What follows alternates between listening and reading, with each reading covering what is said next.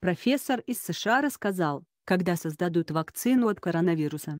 Профессор из США рассказал, когда создадут вакцину от коронавируса 4.27 9 февраля 2020 года, обновлено, 6 часов 9 февраля 2020 года. Reuters, China Daily. Лаборатории в китайском городе Ухань.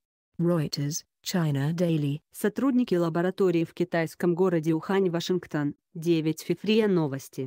Создание вакцины от нового типа коронавируса может потребовать больше времени, чем продолжается нынешняя эпидемия, но это будет полезно для будущих вспышек, считает профессор Пенсильванского университета, глава Центра динамики инфекционных заболеваний, Sid. Элизабет Магроу. Маловероятно, что вакцина РЕД будет доступна во время текущей вспышки, поскольку ее разработка, вероятно, потребует в лучшем случае нескольких лет, но будет полезно иметь ее готовой для будущих вспышек, прокомментировала для РИА Новости ситуацию эксперт. Я также хочу отметить, что, хотя вакцины еще нет, существует вакцина против SARS, Severe Acute Respiratory Syndrome. вспышка которого произошла в 2002-2003 годах RED, которая может дать некоторую защиту против нового коронавируса, отметила МакГроу. По ее словам, в настоящее время вирус удалось идентифицировать, и специалисты работают над созданием вакцины. Вчера, 14.35. Скорость распространения нового коронавируса.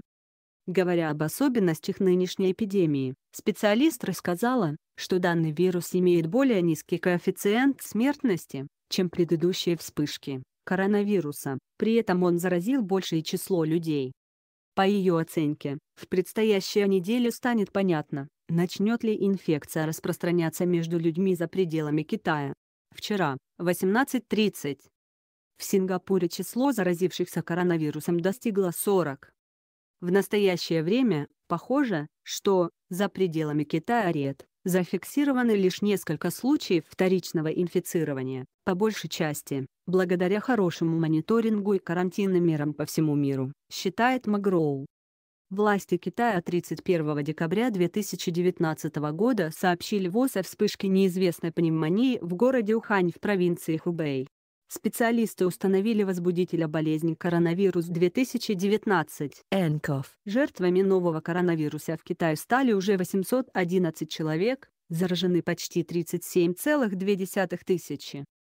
Правительство России на прошлой неделе приняло решение закрыть отдельные участки границы с КНР на Дальнем Востоке, ограничить пересечение границы с Монголией, отменить рабочие визы для граждан КНР, эвакуировать из провинции Хубэй находящихся там россиян, приостановить полеты всех регулярных российских авиакомпаний в Китай, кроме рейсов аэрофлота в Пекин, Шанхай, Гуанчжоу и Гонконг.